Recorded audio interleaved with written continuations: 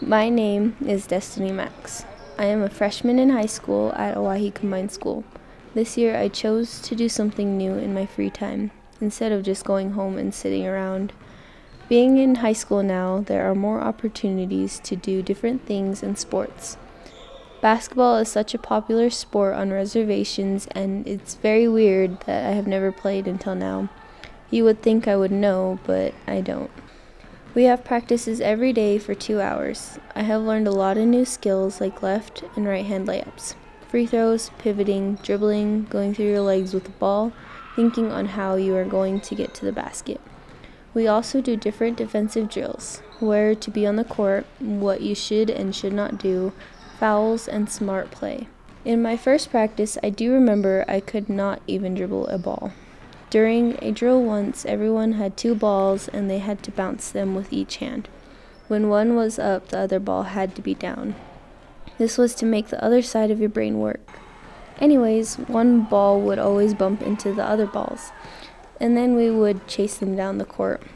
It wasn't just me learning this for the first time, it was eight other girls as well. I can still say I do my left hand layups funny.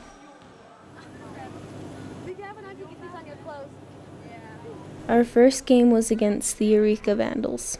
On the way to the game, it was so nerve wracking and scary.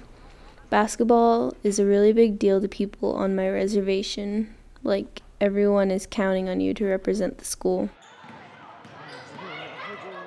In the first quarter, we were doing great. We played like a team.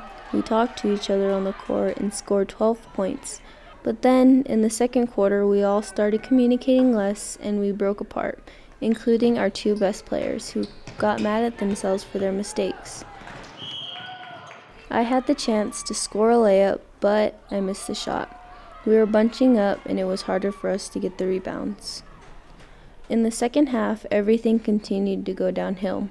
The only highlight was when Rhiannon scored the three point shot. In the end, we lost that game, and being honest, it was not such a big deal. I felt like I could have done better, but you have to be a great loser to be a great winner. Our first game showed us what we needed to work on. I want to work on my layups, defense, and communicating on the court. I want to stick with basketball so I can improve more of my skills.